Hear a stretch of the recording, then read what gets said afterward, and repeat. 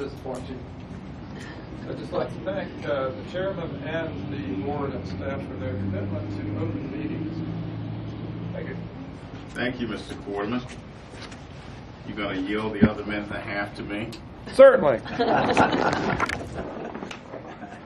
Like a motion to adjourn this meeting for purposes of going into the executive session to discuss matters related to litigation And Rose.